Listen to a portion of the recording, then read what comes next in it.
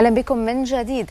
من إكسبو 2020 دبي أعلنت دولة قطر عن تفاصيل استضافتها لإكسبو 2023 للبستنة في الدوحة والممتد من أكتوبر 2023 إلى مارس 2024 الزميل محمود حمدان يكشف لنا المزيد من تفاصيل هذا الإعلان مع ضيفه السيد محمد الخوري الأمين العام لإكسبو 2023 الدوحة للبستنة. نتابع.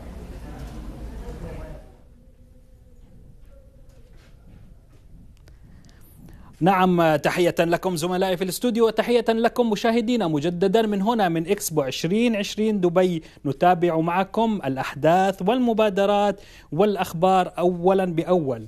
ونتحدث عن خبر جديد ومبادرة من الشقيقة قطر. هنا من خلال إكسبو 2020 دبي يتم الإعلان عن إكسبو 2023 الدوحة للبستنة.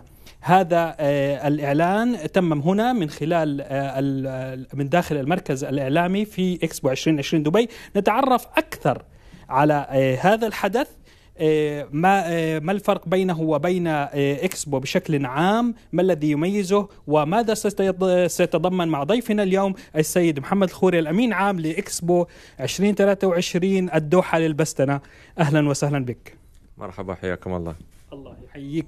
يعني بداية لنتعرف على هذا الحدث. ما هو وما الفرق بينه وبين إكسبو بشكل عام؟ بسم الله الرحمن الرحيم. طبعا في البداية إحنا نشكر القائمين على إكسبو دبي 2020 وكافة التسهيلات اللي قدموها لنا للإعلان عن إكسبو الدوحة 2023 للبستنة. طبعا مثل ما تفضلت إحنا إكسبو متخصص في البستنة class A. يقام إن شاء الله لأول مرة في منطقة الشرق الأوسط وشمال أفريقيا. نتطلع إن شاء الله لمشاركة أكثر من 80 دولة ومتوقع زيارة أكثر من 3 ملايين زائر.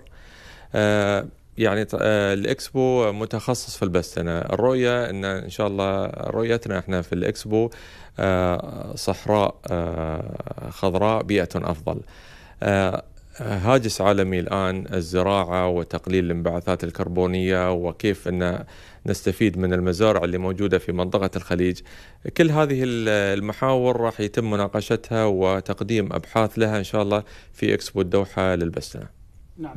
يعني لو نتحدث عن الفرق من من خلال نوعية المشاركين، نوعية الزوار، وأيضا ما سيطرح من تقنيات في هذا الحدث. طبعا الإكسبو مثل ما قلت لك إن إحنا متخصصين في البستنة وكل ما يخص المجال الزراعي والبيئي والاستدامة. إحنا توجهنا للاستفادة من التقنيات العالمية والأبحاث طبعا بيكون في مبادرات راح تقدم أو تبتدي أبحاثها في في إكسبو الدوحة وراح تستمر إن شاء الله ويعود النفع عليها للمنطقة و يعني المناطق الصحراوية بشكل عام.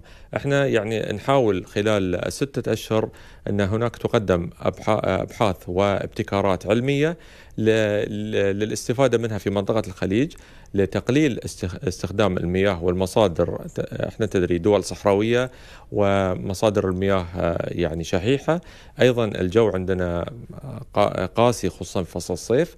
فهناك تقنيات حديثة من استخدام بيوت مبردة تستخدم طاقة بشكل مستدام أيضا يعني تقدم حلول لأن تكون فيه يعني إنتاج وفير للمزارع بتكلفة أقل وأيضا بالمحافظة على الموارد المائية.